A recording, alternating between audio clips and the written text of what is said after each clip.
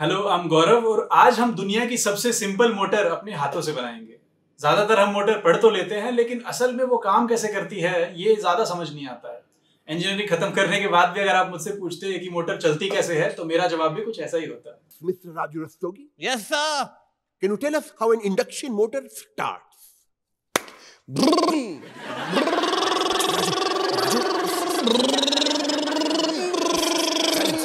Stop it! और ये हमारी मोटर है जो आज हम बनाएँगे। तो चलिए देखते हैं कि इसको बनाते कैसे हैं। इसके लिए हमें copper wire magnet cell rubber band या फिर साइकिल की ट्यूब से कटा हुआ टुकड़ा और दो सेफ्टी पिन चाहिए होंगे। सबसे पहले हम तार को सेल के चारों तरफ़ चार से पाँच बार लपेट लेंगे और फिर सेल को हटा देंगे। तो फिर बीच में हमें ये राउंड कॉयल मिल जाएगी और उसके दोनों तरफ़ ये तार रहेगा अब दोनों तरफ़ हम गांठ लगा देंगे ताकि तार यहाँ पे फिक्स हो जाए। और ये गांठ लगाते समय ये ध्यान रखें कि ये जो दोनों पॉइंट हैं, ये डायमेट्रिकली ऑपोजिट हो यानी एक पॉइंट अगर यहाँ है तो दूसरा एकदम इसके सामने हो। इससे हमारी कॉयल सिमेट्रिक रहेगी और अच्छे से घूम पाएगी। ऐसे ही दूसरी तरफ़ भी गांठ लगा देंगे। और ये हमारी कॉयल बनकर तैयार है। अब सबसे ज़रूरी स्टेप कॉयल के जो दोनों सिरे हैं, इस पे ये जो ऊपर इंसुलेशन लगा हुआ है, ये हमें हटाना है। और ये जो इंसुलेशन है, ये तार के ऊपर एक कवरिंग है। और हम इसको इसीलिए हटा रहे हैं कि जो अंदर का कॉपर वायर है, ये सेफ्टी पिन के कांटेक्ट में आ सके। एक तरफ़ का तो हमें पूरा इंसुलेशन उतारना है। चारों, यहाँ से लेकर यहाँ तक चारों तरफ़ से पूरा इंसुलेशन उतार देना है। और उतारने के लिए हम क्या करेंगे? कैंची से हम इसको अगर रगड़ेंगे तो ये इंसुलेशन आसानी से उतर जाएगा। और आप ये देख भी सकते हैं कि जैसे जैसे हम इंसुलेशन हटाते जा रहे हैं, हमें कॉपर का चमकीला जो कलर है, ये दिखता जा रहा है। तो जब ये चमकीला रंग का कॉपर है, ये सेफ्टी पिन के कांटेक्ट में आएगा तब सर्किट पूरा हो जाएगा और इसमें से करंट बहने लगेगा। तो एक सिरे का पूरा इंसुलेशन उतर चुका है। अब दूसरे सिरे का देखते हैं। दूसरे सिरे में हमें तीन तरफ़ का इंसुलेशन उतारना है। और कौन से तीन, वो देखने के लिए क्या करेंगे? अगर कॉयल को ज़मीन पर रख दें तो ऊपर का हटाना है, नीचे का हटाना है और फिर आगे या पीछे में से कोई एक तरफ़ का छोड़ दें। तो इसको करने के लिए भी कैंची लेकर और हम इसका इंसुलेशन नीचे का उतार देंगे, ऊपर का भी उतार देंगे। इधर का भी उतार देंगे और एक तरफ़ का छोड़ देंगे। और अगर आप अब इसको घुमा के देखेंगे तो पाएँगे कि तीन तरफ़ से इंसुलेशन उतर चुका है और एक तरफ़ इंसुलेशन मौजूद है। अब सेल पर रबर बैंड को फिक्स कर देंगे ताकि हम सेफ्टी पिन को इससे अटैच कर सकें। ये रबर बैंड फिक्स हो गया है और अब हम सेफ्टी पिन को इसमें दोनों तरफ़ डाल देंगे। तो एक सेफ्टी पिन पॉजिटिव टर्मिनल को टच कर रही है और दूसरी सेफ्टी पिन नेगेटिव टर्मिनल को टच कर रही है। और सेफ्टी पिन को ऐसे लगाना है कि उसका जो ये खुलने वाला पार्ट है, जहाँ से सेफ्टी पिन खुल सकती है, वो रबर बैंड की तरफ़ हम लगा देंगे। अब सेल के बीच में हम मैग्नेट को रख देंगे और आखिरी स्टेप में कॉयल को सेफ्टी पिन के ये जो गोले हैं, इसके अंदर डाल देंगे। तो हमारी मोटर बनकर तैयार है और ये घूमने लगी। चलिए, अब ये देख लेते हैं कि ये मोटर घूम क्यों रही है। जब भी किसी तार में से करंट पास हो रहा होता है और हम उसके पास में एक मैग्नेट लाते हैं तो उस तार पे एक फोर्स लगता है, जिसकी डायरेक्शन हम फ्लेमिंग्स लेफ़्ट हैंड रूल से निकाल सकते हैं। और ये निकालने के लिए हम अपनी उंगलियों को ऐसे रखेंगे कि ये तीनों उंगलियाँ आपस में परपेंडिकुलर हो जाएँ। और फिर हाथ को ऐसे रखेंगे कि ये वाली उंगली मैग्नेटिक फ़ील्ड की दिशा में है, ये वाली उंगली करंट की दिशा में है तो अंगूठा अपने आप फोर्स की दिशा दे देगा। तो इस मोटर में अगर आप देखें तो ये वाली जो पिन है, ये पॉजिटिव टर्मिनल से कनेक्टेड है और ये जो दूसरी पिन है, ये नेगेटिव टर्मिनल से कनेक्टेड है।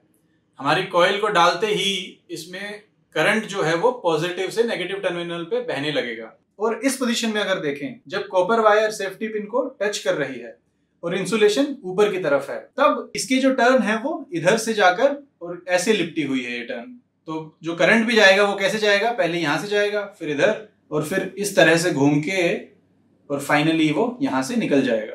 तो ऊपर वाले भाग में जो करंट की डायरेक्शन है वो ये है और नीचे वाले भाग में करंट की डायरेक्शन है वो ये है। अब मैग्नेटिक फ़ील्ड को अगर देखें तो इस समय जो हमारी ये मैग्नेट है, इसका नॉर्थ पोल ऊपर की तरफ़ फेस कर रहा है। इसलिए मैग्नेटिक फ़ील्ड की डायरेक्शन ऊपर की तरफ़ हो गई। तो ये मैग्नेटिक फ़ील्ड हो गया और हमने देखा था कि करंट जो है वो इस दिशा में है। तो मुझे अपनी ये वाली उंगली है, ये करंट की दिशा में करनी पड़ेगी। फ़ील्ड और ये करंट तो ये जो अंगूठा है, ये फोर्स की दिशा दे रहा है। यानी जो फोर्स लग रहा है वो मेरे से दूर, यानी कैमरे की तरफ़ लग रहा है। और इसी समय अगर नीचे वाले पार्ट को देखें तो उसमें करंट की डायरेक्शन उल्टी है। ऊपर वाले पार्ट में इस दिशा में था, नीचे वाले पार्ट में इस दिशा में है। और मैग्नेटिक फ़ील्ड की डायरेक्शन तो ऊपर ही है, क्योंकि हमने मैग्नेट को तो छुआ नहीं है। तो ये मैग्नेटिक फ़ील्ड की दिशा हो गई, ये करंट की दिशा हो गई। अब ये अंगूठा मेरी तरफ़ पॉइंट कर रहा है तो जो नीचे वाला पार्ट है कॉइल का, उस पर मेरी तरफ़ फोर्स लग रहा है। तो दोनों ये जो फोर्सेस हैं, ये मिलाकर इस कॉइल को ऐसे रोटेट करेंगे।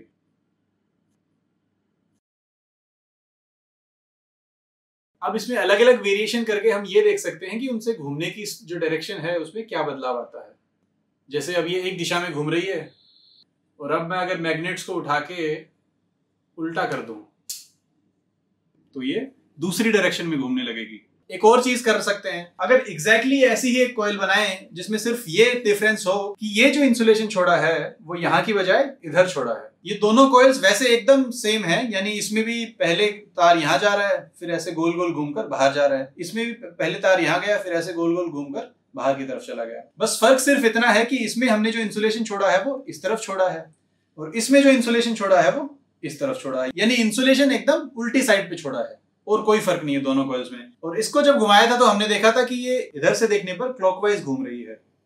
अब दूसरी कॉइल को देखते हैं।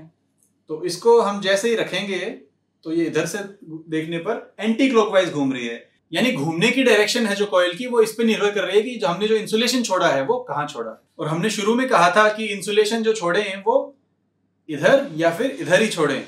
अब ये देखते हैं कि इंसुलेशन मान लीजिए हम ऊपर या नीचे छोड़ते हैं, उससे क्या दिक्कत होती है? तो इस कॉयल को जब हम देख रहे हैं तो इस पर फोर्स तो हर पोजीशन में लग रहा है, लेकिन वो फोर्स इस कॉयल को घुमा पा रहा है या नहीं, ये इसकी पोजीशन पर निर्भर कर रहा है।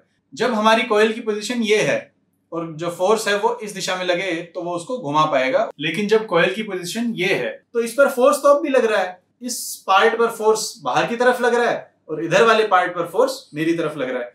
पर वो जो फोर्स है, वो इस कोयल को घुमा नहीं पाएगा, क्योंकि उस फोर्स से जनरेटेड जो टॉर्क है, वो ज़ीरो होगा। और अब इस पोजीशन पर देखते हैं। इस पोजीशन पर फोर्स की डायरेक्शन उल्टी हो जाएगी, जो कोयल को ऑपोजिट डायरेक्शन में घुमाने की कोशिश करेगी। इस पॉइंट पर हमें जो करंट है, वो बंद करना पड़ेगा, और इसीलिए जो इंसुलेशन है, ये यहाँ पर छोड़ा हुआ है। तो यानी अगर हम चारों तरफ़ का इंसुलेशन हटा दें तो होगा क्या कि एक चक्कर मारने के बाद फोर्सेस की डायरेक्शन उल्टी हो जाएगी और वो इसको उल्टी दिशा में रोटेट करने की कोशिश करेगी तो हमारी कोयल है, वो ऐसे ऐसे हिलती रह जाएगी, पूरी तरह से रोटेट नहीं करेगी। तो हमने देखा कि हमने जहाँ इंसुलेशन छोड़ा है, उसको उल्टा कर दें तो जो कोयल की घूमने की डायरेक्शन है, वो उल्टी हो जाती है। हमने ये भी देखा कि मैग्नेट को अगर हम उठाकर उल्टा कर दें तो भी जो घूमने की डायरेक्शन है, वो उल्टी हो जाती है। एक और इंटरेस्टिंग तरीका है, जिससे घूमने की डायरेक्शन चेंज कर सकते हैं, वो ये है कि इस पूरी मोटर को ही उठाकर हम उल्टा कर दें तो ये देखिए, पहले रुकती है ये, और फिर उल्टी दिशा में घूमना शुरू कर देती है।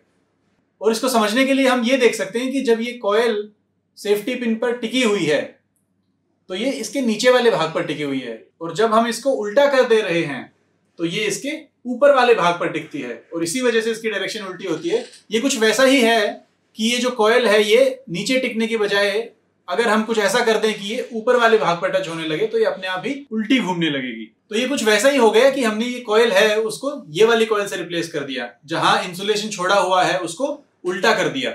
इसीलिए पूरी मोटर को उल्टा करने पर ये उल्टी दिशा में घूमने लग जाती है। तो अगली बार अगर कोई आपसे पूछे कि मोटर कैसे चलती है तो आशा करते हैं कि आपके पास एक बेटर जवाब होगा। Thank you